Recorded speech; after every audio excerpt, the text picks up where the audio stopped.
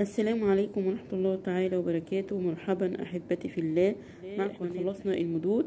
هننزل بقى بالتدريبات من القرآن الكريم عشان نتدرب أكتر. وبإذن الله هستظهر منكم تعليقات. بأي سؤال عاوزين إجابة عليه أنزل لكم إيه إجابة عليه فيديو بإذن الله تعالى. طب لو سألتك في هذه في الكلمتين طبعا أول ما أقول لك حكم المد يبقى عينيكي على حروف المد الأول. أطلعها وبعد كده أشوف أنهي نوع من أنواع المد. أول حاجة عندك الألف الصغيرة.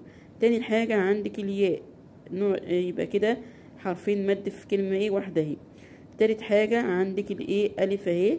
رابع حاجة الياء. يبقى هنا ألف وياء وهنا ألف وياء. يعني أربع آه، حروف مد هنا. طب أنواع المد بقى إيه؟ تعال نشوف الأول. أدي الألف الصغيرة. الألف الصغيرة ما جاش بعدها همزة ولا إيه ولا سكون. يبقى ده مد طبيعي حركتين. يا بني أي يا ده إيه حركتين. طيب عندك الياء. الياء هنا جاية لك في كلمة والهمزة في إيه أول الكلمة التي تليها. يبقى اتكلمنا عن المد ده وقلنا نوعه إيه؟ ده نوعه مد منفصل.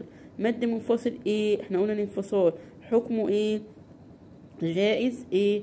اتنين أربعة خمسة وبتاخدي بالتوسط اللي هما أربع حركات. يبقى يا بني إس. اديتها كام حركة؟ أربع طيب النوع الثالث اللي هو الحرف الثالث اللي هو الألف أبص عليه جه بعده إيه؟ جه بعده همزة. خلاص؟ طيب في كلمة ولا في كلمتين؟ جم في كلمة واحدة. يبقى ده اسمه مد إيه؟ مد متصل. حكمه إيه؟ واجب أربعة خمسة أو ست حركات. لو كانت الهمزة متضرب يبقى أربعة وخمسة. هناخد بالتوسط أربع حركات عند حفص. يبقى نمد كام حركة؟ أربعة. إسرائي. يبقى مدتها كام؟ أربع حركات. طب الياء؟ أنا قلت إن الهمزة أبص للي قبلها هي جاية سبب قبله إيه؟ همز. الهمزة دي مكسورة يعني كل همز ممدود. يعني ده اسمه مد بدل. حد البدل. بنديله كام حركة؟ بنديله حركتين في الوصل.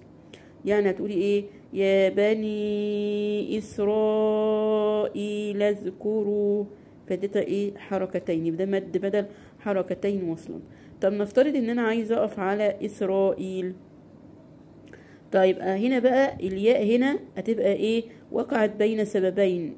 يبقى الحرف المد ده وقع بين سببين اللي هو الهمزة قبليه واللام لو وقفت عليها سكنتها.